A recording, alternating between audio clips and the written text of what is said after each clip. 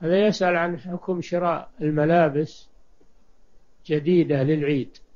طيب هذا التزين للعيد؟ هذا طيب.